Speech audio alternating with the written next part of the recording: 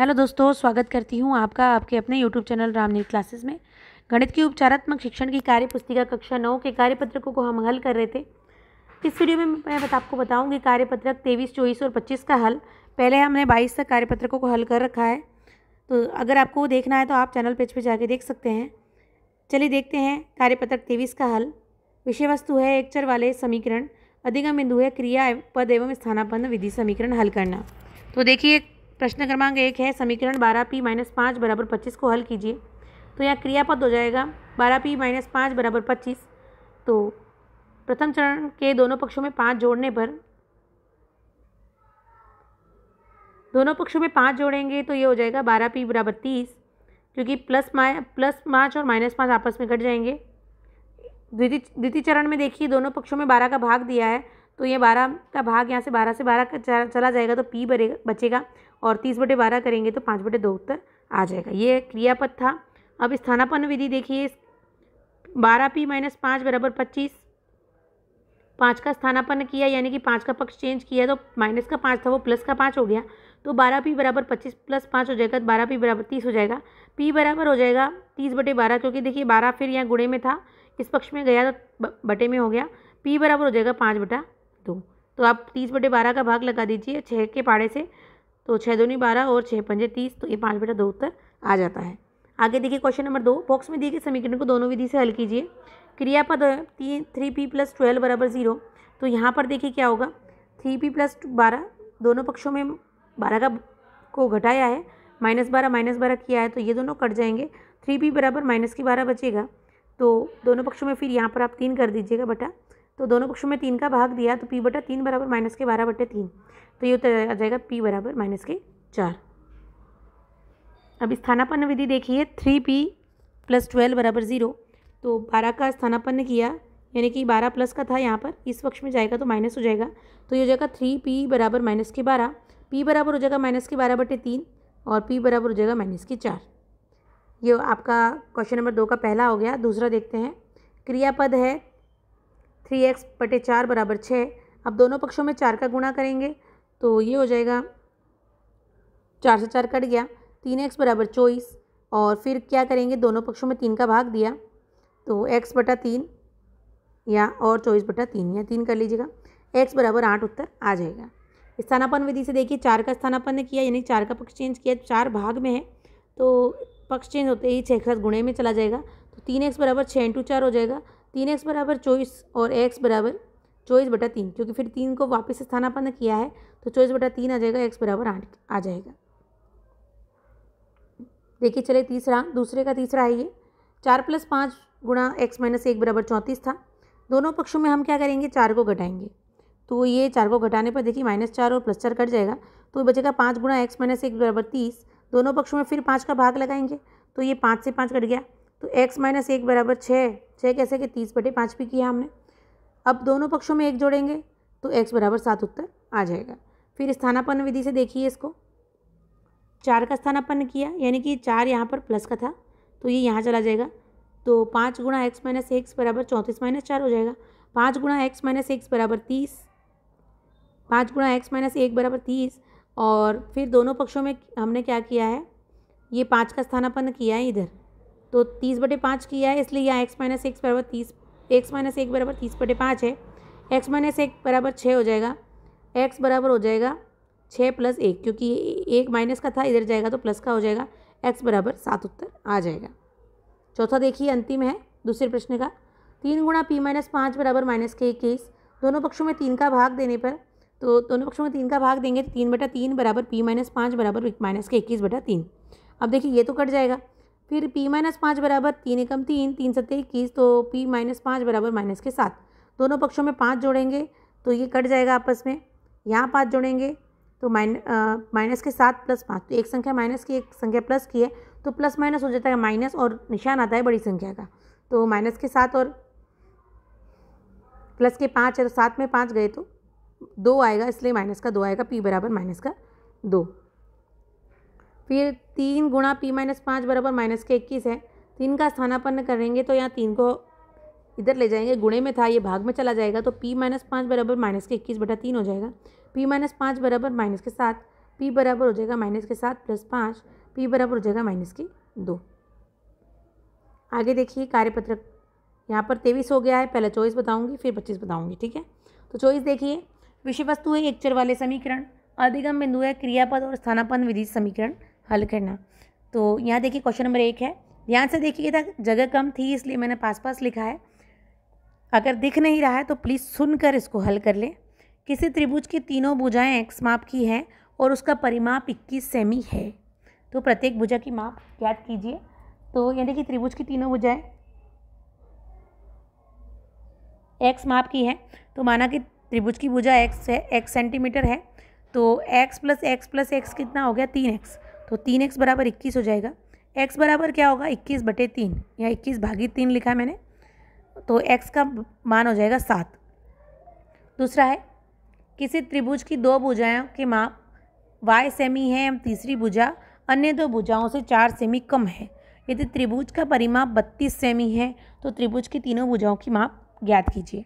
तो यहाँ हो जाएगा, देखिए दो भुजाएँ तो वाई है, यानी कि तीन भुजाएँ होती हैं तो हमें करना है वाई प्लस वाई और यहाँ पर माइनस चार। क्यों? क्योंकि दो भुजाओं की माप वाई है तो वाई प्लस वाई हो जाएगा, लेकिन तीसरी भुजा की माप पता नहीं है हमें। ठीक है तो वो तीसरी भुजाएँ अन्य दो भुजाओं से चार सेमी कम है। तो यहाँ दो भुजाएँ तो वाई थी तो और तीसरी भुजा है, वो दूसरी भुजा से चार कम है। तो यहाँ पर y माइनस चार है, तीसरी भुजा, और ये जो y है, ये पहली दो भुजाएँ हैं, सम्मिलित रूप से। तो इसको हम लिखेंगे y प्लस वाई माइनस चार बराबर बत्तीस इसको हल करेंगे आगे तो y प्लस वाई दो वाई दो वाई माइनस चार बराबर बत्तीस। ऐसे आगे चलते जाइएगा, देखिए जगह कम थी। तो यहाँ पर आप देखेंगे, दो वाई माइनस चार बराबर बत्तीस था। फिर यहाँ चार का पक्षांतरण करेंगे इधर तो दो वाई बराबर बत्तीस प्लस चार हो जाएगा। ठीक है तो दो वाई बराबर क्या होगा, बत्तीस और चार कितना होता है छत्तीस। अब यहाँ देखिए, दो वाई बराबर छत्तीस तो वाई बराबर क्या होगा, छत्तीस बटे दो। छत्तीस बटे दो कितना होगा? अठारह। वाई का मान अठारह आ गया। तो दो भुजाएँ थी वो, अठारह हो गई। तो एक भुजा क्या हो गई? नौ सेमी। नौ सेमी। और जो तीसरी भुजा थी, वो वाई माइनस चार थी। तो वाई का मान तो अठारह आया। अठारह में से चार गए तो चौदह। ठीक है? आपको अठारह में से चार गए तो सॉरी यहाँ पर देखिए, अठारह में से चार गए तो चौदह। तो एक भुजा नौ, दूसरी भुजा नौ और तीसरी भुजा चौदह सेमी आ जाएगी। आगे देखिए क्वेश्चन नंबर तीन। एक त्रिभुज का क्षेत्रफल सोलह सेंटीमीटर स्क्वायर है। यदि त्रिभुज का आधार उसकी ऊंचाई का आधा है तो त्रिभुज का आधार ज्ञात कीजिए। तो यहाँ पर हमें क्षेत्रफल दिया है और त्रिभुज का आधार उसकी ऊंचाई का आधा है। यानी कि आधार आधा है तो हमें ऊंचाई को मानना पड़ेगा। तो मैंने यहाँ पर देखिए, मान लिया है। माना कि त्रिभुज की ऊंचाई है एक सेंटीमीटर अब आधार कितना हो जाएगा? तो ऊंचाई का आधा आधार हो जाएगा एक्स बटा दो सेंटीमीटर अब इसको हल करेंगे, हल कैसे करेंगे देखिए कि त्रिभुज का क्षेत्रफल क्या होता है, एक बटा दो गुणा आधार गुणा ऊंचाई। तो आपको करना मैं देखिए करके बताती हूँ, एक बटा दो गुणा आधार कितना था एक्स बटा दो गुणा ऊंचाई कितनी एक्स तो इसको आपको हल करना है, ये हो जाएगा एक्स गुणा एक्स बटे दो इंटू दो तो ये हो जाएगा एक्स गुणा एक्स एक्स स्क्वायर दो दूनी चार एक्स स्क्वायर बटे चार। ठीक है? तो यहाँ देखिए। एक्स एक्स स्क्वायर बटे चार कितना दे रखा है? सोलह सेंटीमीटर स्क्वायर तो सोलह बराबर क्या होगा? एक्स स्क्वायर बटे चार। तो एक्स स्क्वायर क्या होगा? देखिए, चार यहाँ पर सोलह में पक्षांतरण होगा उस पक्ष में। तो सोलह गुणा चार हो जाएगा। एक्स स्क्वायर बराबर सोलह गुणा चार। एक्स स्क्वायर बराबर चौंसठ हो जाएगा। तो एक्स बराबर क्या होगा? आठ। आठ क्यों? क्योंकि चौंसठ का जो अंडर रूट करेंगे तो उसका मान आठ आ जाएगा। तो हमें क्या पूछा था? एक्स का मान तो आ गया, लेकिन पूछा था त्रिभुज का आधार ज्ञात कीजिए। त्रिभुज का आधार कितना था? एक्स बटा दो। एक्स का मान आ गया आठ। तो आठ बटा दो कितना हो जाएगा? त्रिभुज का आधार हो जाएगा चार सेंटीमीटर। देखिए मैंने यहाँ लिखा है, त्रिभुज का आधार एक्स बटा दो बराबर चार सेंटीमीटर। देख लीजिएगा यहाँ पर। चौथा है, आयत की लंबाई उसकी चौड़ाई की तीन गुनी है। यदि आयत का परिमाप अड़तालीस सेंटीमीटर है तो उसकी लंबाई ज्ञात कीजिए। अब देखिए, आयत की चौड़ाई को मानना है क्योंकि लंबाई, चौड़ाई की तीन गुनी है तो चौड़ाई पता होगी, तभी हम लंबाई ज्ञात करेंगे। तो यहाँ पर माना कि आयत की चौड़ाई एक्स सेंटीमीटर है तो लंबाई क्या होगी, तीन गुनी है, इसलिए तीन एक्स कर देंगे। अब आयत का परिमाप का सूत्र आपको याद होना चाहिए। आयत का परिमाप होता है दो गुणा लंबाई प्लस चौड़ाई तो करेंगे दो गुणा तीन एक्स प्लस एक्स तो दो गुणा तीन एक्स प्लस एक्स क्या होगा, तीन दूनी छः एक्स प्लस दो एक्स तो कितना था, ये आपको दिया गया है, अड़तालीस सेंटीमीटर है। तो अड़तालीस बराबर छः एक्स प्लस दो एक्स छः एक्स प्लस दो एक्स कितने एक्स हुए? आठ एक्स आठ एक्स बराबर अड़तालीस है तो एक्स बराबर क्या हो जाएगा? अड़तालीस बटे आठ। एक्स बराबर अड़तालीस बटे आठ बराबर छः सेंटीमीटर अब पूछा है कि लंबाई ज्ञात करनी, लंबाई क्या होगी? तो चौड़ाई की तीन गुना है एक्स चौड़ाई को हमने एक्स माना है एक्स का मान छः आया है तो तीन गुना छः करेंगे तो छः अठारह सेंटीमीटर आ जाएगा। यानी कि एक्स का मान आ गया छः और लंबाई का मान आ गया अठारह। ठीक है? यहाँ लिखा हुआ है, ध्यान से देखिएगा।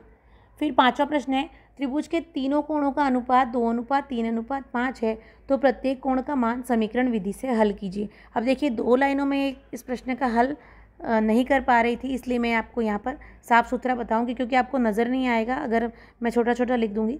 तो पाँचवें प्रश्न का उत्तर देखिए, माना कि त्रिभुज के तीनों कोण दो एक्स, तीन एक्स और पाँच एक्स हैं तो त्रिभुज के तीनों कोणों का योग कितना होता है? 180 डिग्री होता है। तो उसी को आधार मान के चलेंगे, दो एक्स प्लस तीन एक्स प्लस पाँच एक्स बराबर एक सौ अस्सी।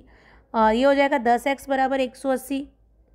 एक्स बराबर होगा एक सौ अस्सी बटे दस, एक्स बराबर होगा अट्ठारह डिग्री। तो पहला कोण कितना था? दो एक्स तो दो गुणा एक्स, दो गुणा अट्ठारह बराबर छत्तीस डिग्री। दूसरा कोण था तीन एक्स तो तीन गुणा अठारह बराबर चौपन डिग्री। और तीसरा कोण था पाँच एक्स तो पाँच गुणा अठारह बराबर नब्बे डिग्री उत्तर आ जाएगा। ठीक है, पाँचवा सवाल हो गया है आपका। चलिए देखते हैं छठा सवाल। उस वर्ग की भुजा ज्ञात कीजिए जिसका परिमाप 16 सेंटीमीटर है। तो ये तो बहुत छोटा सा सवाल है। वर्ग की भुजा बराबर होता है परिमाप बटे चार। परिमाप बटे चार तो परिमाप है सोलह। तो सोलह बटे चार करेंगे तो चार से में उत्तर आ जाएगा तो वर्ग की भुजा हो जाएगी चार सेंटीमीटर। सातवां और आठवां सवाल देखेंगे। सातवां है, तीन क्रमागत संख्याओं का योग उनचालीस है तो तीनों संख्याएँ ज्ञात कीजिए। चलिए इसका उत्तर बताती हूँ। इसका उत्तर है, माना कि तीन क्रमागत संख्याएँ क्रमशः एक्स एक्स प्लस एक और एक्स प्लस दो हैं। प्रश्नानुसार क्या है? तीनों का योग उनचालीस है, यानी कि तीनों को जोड़ना है।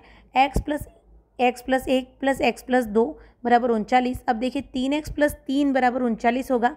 तीन एक्स बराबर उनचालीस माइनस तीन तीन एक्स बराबर छत्तीस एक्स बराबर छत्तीस बटे तीन और एक्स बराबर बारह आ गया। यानी कि देखिए, मैंने यहाँ पर स्थानापन विधि का उपयोग किया है, आप घबराइएगा नहीं। ये जो तीन प्लस का था, वो इधर जाएगा तो माइनस का हो जाएगा और ये तीन यहाँ पर जो गुणे का था, वो इस पक्ष में जाते ही भाग का हो जाएगा। इसलिए यहाँ एक्स बराबर बारह उत्तर आया है। अब हमारे को क्या ज्ञात करना है? संख्या ज्ञात करनी तो पहली संख्या एक्स थी तो एक्स तो बारह ही थी, पहली संख्या बारह है दूसरी है एक्स प्लस एक तो बारह प्लस एक होगी तेरह, तीसरी संख्या एक्स प्लस दो, यानी बारह प्लस दो बराबर चौदह। आगे देखिए, अंतिम प्रश्न है इस कार्यपत्रक का। तीन क्रमागत विषम संख्याओं का योग इक्कीस है तो तीनों संख्याएँ ज्ञात कीजिए। अब यहाँ विषम संख्या दिया है तो थोड़ा सा सावधानी रखनी है। तो माना कि तीनों, तीन क्रमागत विषम संख्या विषम संख्या क्या होती है? जैसे एक मानेंगे तो एक, तीन, पाँच। कितना अंतर होता है? दो का अंतर होता है तो पहली संख्या एक्स है तो दूसरी होगी एक्स प्लस दो और तीसरी होगी एक्स प्लस चार। यहाँ ध्यान रखना है, अगर यहाँ आपने सही किया है तो आपका सवाल बिल्कुल सही हो जाएगा। ठीक है, आगे देखिए। एक्स प्लस एक्स प्लस दो प्लस एक्स प्लस चार बराबर इक्कीस दे रखा था। ये हो जाएगा तीन एक्स प्लस छः, क्योंकि चार और दो छः था। तीन एक्स प्लस छः बराबर इक्कीस। तीन एक्स बराबर इक्कीस माइनस छः, तीन एक्स बराबर पंद्रह एक्स बराबर पंद्रह बटे तीन बराबर पाँच। एक्स का मान पाँच आ गया। एक्स बराबर पाँच आ गया तो पहली संख्या एक्स थी। तो पहली संख्या पाँच हो जाएगी, दूसरी संख्या थी एक्स प्लस दो, यानी पाँच प्लस दो सात, और तीसरी संख्या एक्स प्लस चार, यानी पाँच और चार नौ। तो पहली संख्या पाँच, दूसरी संख्या सात, और तीसरी संख्या नौ अपना उत्तर आ जाएगा। चलिए, यह हो गया कार्यपत्रक चौबीस कंप्लीट, पच्चीस देखते हैं। विषय वस्तु थी एक चर वाले समीकरण, अधिगम बिंदु है, आओ खेल खेलें। तो चलिए देखते हैं, अमित एक प्रतिभावान विद्यार्थी, उसके शिक्षक द्वारा कक्षा को एक समस्या दी गई है।